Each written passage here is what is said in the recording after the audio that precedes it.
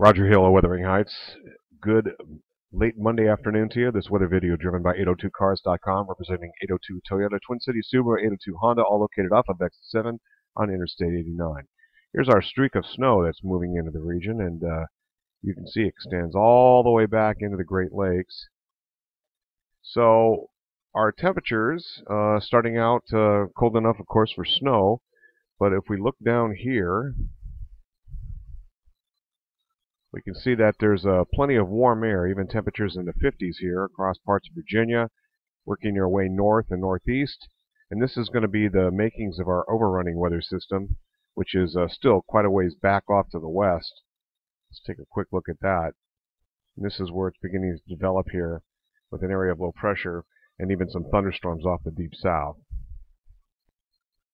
We'll take a look at some computer modeling.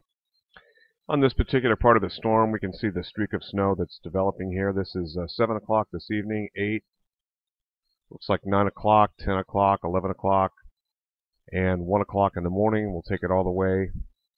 And this is through uh, 7 a.m., so roughly around 1 inch, but uh, this is going to coat area roads, and again, this is ahead of the next incoming weather system.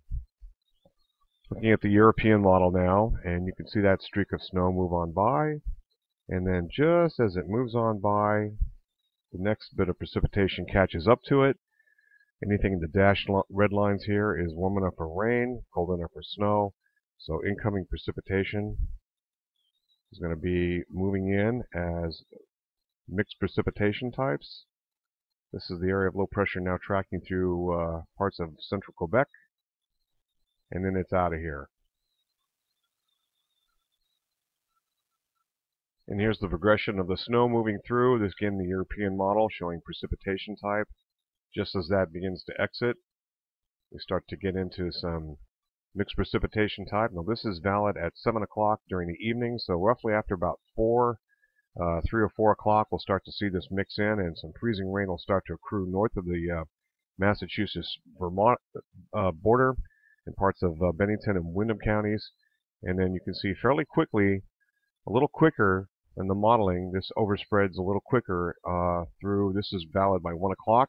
So this is going to get in here probably during the uh, mid to late evening hours and continue to track through and then eventually switch over to rain. This is by 7 o'clock in the evening with 6 hour panels here. And it tails off with a little bit of snow shower activity.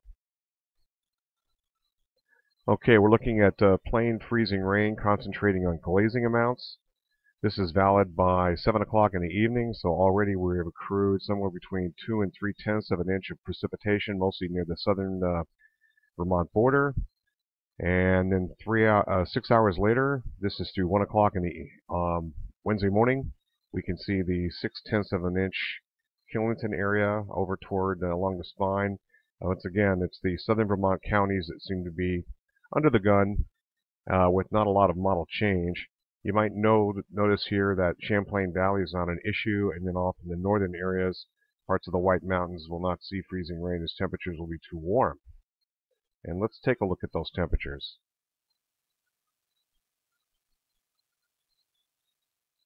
Give you the kind of indication here as to what's going on. Temperatures right at the freezing mark, right near the spine of the Green Mountains. And if we go back one six hour panel, you can see this is valid at 1 o'clock in the morning with temperatures already reaching close to 32 degrees at 1 o'clock in the morning in the Champlain Valley. Hence, not a lot of worries uh, east of the green, uh, west of the greens, uh, the Burlington Champlain Valley side, Rutland, and then the temperatures do get, uh, they do max out in the 40s even east of the greens, and this is uh, valid by 1 o'clock in the afternoon. This is a little bit cooler from, from what it's been advertising.